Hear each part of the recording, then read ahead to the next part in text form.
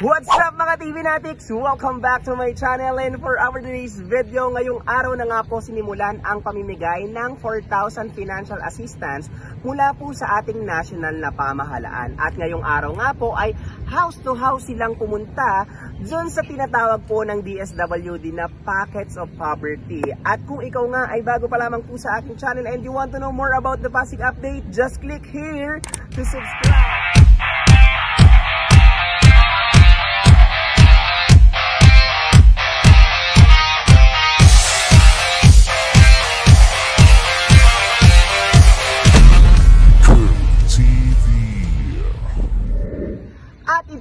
Ang ilan sa ating mga Pasigenyo na nabigyan ng 4,000 financial assistance mula po sa ating national na pamahalaan na tinatawag din po ng DSWD na Packets of Poverty.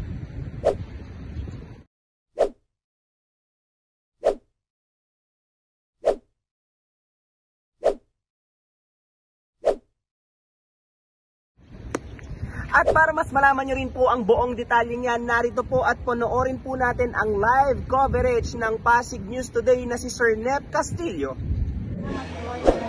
Naitanong natin kanina sa mga taga uh, DSWD at LGU na hindi pala ina-announce yung uh, location or uh, area kung kailan mamimigay or saan mamimigay sa araw na ito. So, batay sa ating impormasyon na kuha kanina, uh, ngayong araw ay barangay Manggahan lamang doon sa may Kangkungan area at dito sa may F. Mariano sa barangay Dilapas ang uh, bibigyan ngayong araw at babalik na daw sila sa uh, DSWD no? So dito iba ang style dito.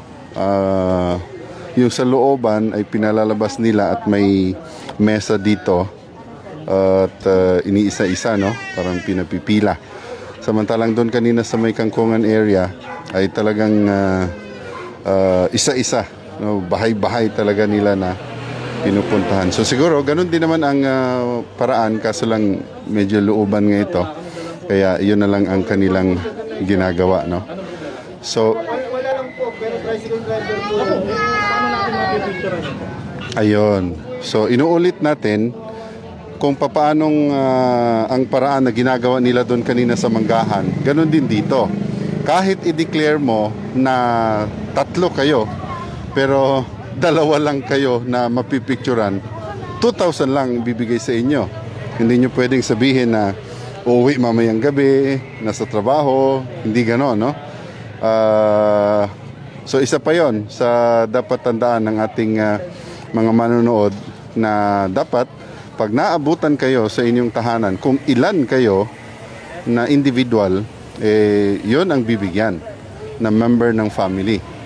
Uh, basta maximum ng 4,000 per uh, household no or per family.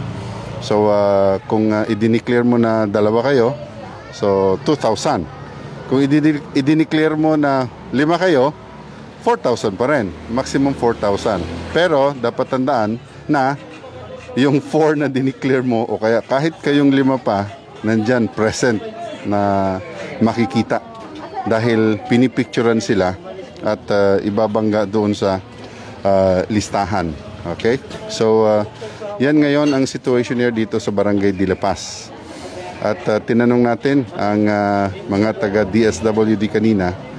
Uh, tinanong natin kung saan sila bukas. So, hindi nila alam din kung uh, saan at uh, hindi rin nila sinasabi kung uh, anong oras. So, basta parang bulagaan na lang daw sila bukas eh. Ang uh, layunin daw pala noon ay pag in-announce nila kung saan sila pupunta bukas, eh baka magsidagsaan ang tao. No, kaya iniiwasan nila yung yung magdagsaan yung mga tao uh, dahil nga sa issue ng social distancing. Okay, so uh, may nalaman din tayong uh, impormasyon na doon sa ibang city ay uh, may hinahanapan pa ng identification, ng ID, no? Pero dito sa Pasig, tulad ng sinabi ni Mayor, eh, wala nang ID-ID. Basta makita kayo na kung ilan kayong presente sa pamilya ay iyon ang makakatanggap ng cash assistance o cash aid mula sa national government. Okay? So, inuulit natin uh, sa mga nagtatanong live sa ating broadcast ngayon, wala kaming idea kung uh, kailan ang next na schedule. Oh, ma'am, kayo ba may alam kayo kung kailan next schedule bukas? Wala rin. Wala, wala rin. Ba, hindi po sinasabi kung kailan.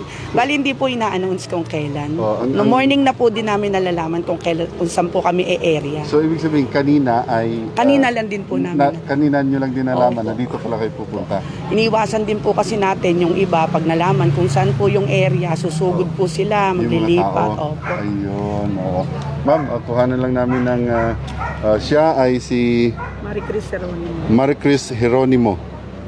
Yan, Maricris Jeronimo. Leader po kami. At team leader kayo ng DSWD Hindi Pasig. po, Ah, ng mayors po. ah, ng mayor's office. Oh, nasa local government unit mismo, no? Sa office ni Mayor Vico Soto. So, uh, salamat ma'am, no? Thank you. Ah, papapas, papuntahin na lang dito yung mga ano. At iniisa-isa nila dahil mahalaga nga yung picture. Uh, pipicturan bawat uh, nagpe-present ng kanilang member ng family. Okay, kahit mga bata nakikita natin dito na kailangan isama sa picture, no? So ibig sabihin kung uh, lima kayo sa family eh 4,000, no? Yan, tulad niyan. Uh, ilan yan? Ilan o tiningnan ng anak niya ilan ang na ano no nakuha nila so dalawa lang sila kaya 2,000 lang ah sa looban po ah so ito palang looban na ito ay mayroong 13 1 3 13 na mga ah, household Ah, no no no family daw family no may labing tatlong family doon sa loob Ayun. So ito, may issue dito, no? Magpipinsan sila, iba-iba ang apelyedo. Yun. Medyo, ano ito, kukwestiyonin, no? Dahil, Asan ang pamilya mo, kuya?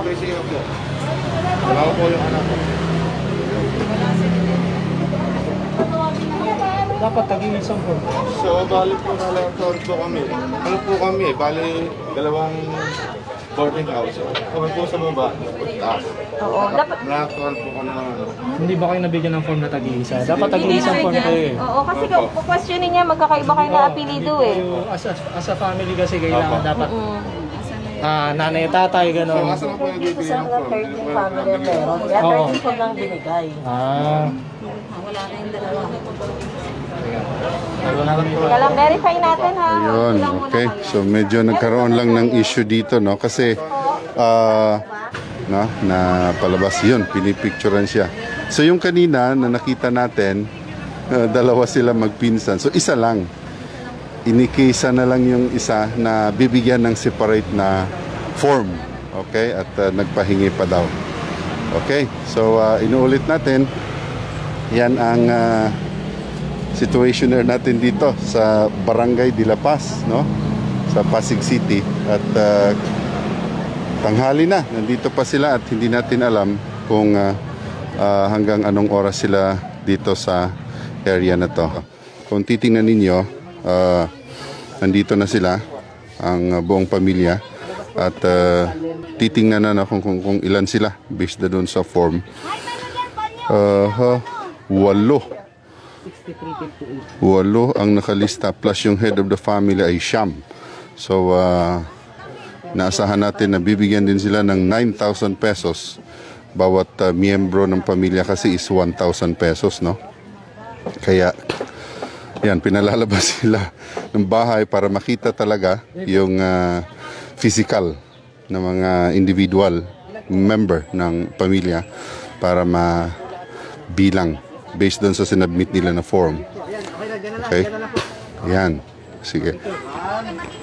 So kinukuhanan din sila ng uh, photo para proof na sila nga ay uh, uh, sham. No? Ayan, pinapipirma din. Ano? 1, 2, 3, 4. Ah, maximum lang sir, 4. Ah, maximum lang pala 4,000. Hindi pala kung ilan ang ah, nakalista. Eh, 1,000 per head. No? Kung siyam, 9,000. Mali po yun pala, no?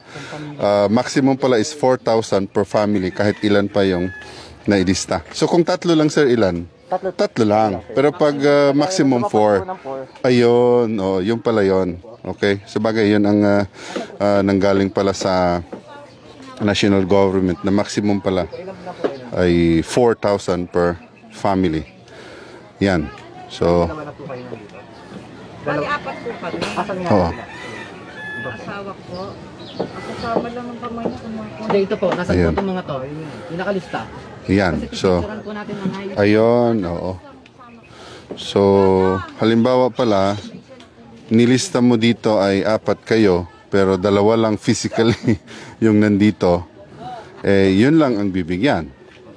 No? Ah, kasi pipicturean eh. So, kumbaga, eh, kailangan magkatugma yung picture na dalawa katao, tsaka na ibibigay na cash. So, 2,000. Ano po ito? Heronimo, ano po ito? Yan, kaya lumalabas dito, ah, present kayo sa inyong bahay lahat, no? Kung apat kayo, kailangan apat kayo na nasa bahay ngayon para yon ang ibibigay sa inyo 1,000 per head. Okay? So, so sabi ni nanay dito, eh, yung kanyang asawa daw, kasi dalawa lang sila, ang kanyang asawa daw ay uh, pinakuha ng bigas sa labas. Kaya dapat eh, apat sila na nandito. Ayan, okay? So yan po ang nangyayaring Ayun, si nanay tulad ng ating mga viewers ay nagtatanong din sa mga pagador kung papaano daw yung uh, second trans dahil hindi pa sila nakakakuha noong nakaraan kaya walang may maisasagot ang, ang uh, mga taga Pasig LGU at DSWD dito no. Ayan. So tulad nung ah, mga tanong natin sa unang broadcast natin kanina, ah, kung kailan ang schedule ng per barangay. So, ah, ayon sa ating impormasyon na nakuha, kailangan na hintayin ang schedule na ilalabas no ng ah, Pasig Public Information Office. So, dalawa lang ang alam natin na kasalukuyang namimigay ang sa Barangay de La Paz at dito sa may Kangkungan area ng Barangay Manggahan. Wala pa tayong ah, impormasyon kung ah, kailan sa ibang barangay. May mga nagtatanong na ng Santo Tomas, Palatio, Napico, no? Yan, so hindi natin masasagot yan, no? Dahil wala pa talagang schedule na ibinigay. So basta tayo ay live na nandito. Ang kagandahan dito ay may mga ano rin ano, may mga taga barangay din. Tanungin natin, sir, uh, uh, anong masasabi mo sa ayuda na yan? Ah, malaking tulong na rin po ito kahit pa paano na sa oras ng kagutuman. Ayun. Malaking bagay na po ito. Oh, Kaya magkano yung natanggap nyo? 3,000 po. Ah, ilan kayo sa inyong pamilya? Apat po. Apat kayo? Apo, dalawang anak. Nasa nawawan. Ah, okay. So, bakit hindi 4,000 daw? Hindi mo tinanong? Hindi ko na ho. Basta importante meron. Ah, basta. okay. Sige, salamat po. ah. Okay, sige. Yan ang isa sa mga nakatanggap ng ating uh, ng ayuda no mula sa national government. At uh? Iyan. Ah, yan. Oo. So, ah, talagang stricto na hinahanap yung yung ah, individual, no? Ayan. So, one, two, three, four. Ayun. So, dahil ah, apat sila sa kanilang pamilya, kaya apat din silang nabigyan. So, 4,000. Ayan. Pinakita talaga apat sila, no? Ayan. Yun. Okay. So, kailangan pirmahan para patunay. Maliban sa picture, ay uh, kailangan ding uh, pirmahan. Yan. Okay. Yeah. May sumasama sa kanila ng mga taga-barangay Manggahan mismo na mga empleyado para i-assist sila. Okay? So, uh, tanungin natin. Ah? City Hall Paso. Ah, City Hall. Yeah, oo, oo, oo. Ay, ano po ang ah, masasabi ninyo sa ano? Ah, maraming maraming salamat po. Mhm. Oh, anong pambibili mo diyan? Ibibili ko po ng gatas po, tsaka pampers po, tsaka bigas po. Ayun. Oh, okay, sige.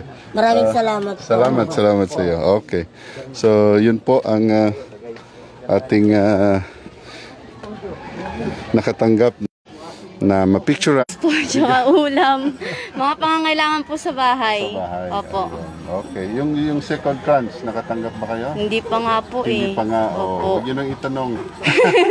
Kaya nga po eh, parang di na rin po kami umaasa eh. ah, okay. Oh. Kasi ang tagal na po eh. Isang Yes. taon na rin pong nakaano eh. Nakatingga yung sap namin dito eh. Wala pa rin. Ayun. Hindi pa rin po nabibigay Oh, sa at least amin. ngayon may bago ulit. Opo. Ah, okay. Salamat Sige. po. Salamat, salamat.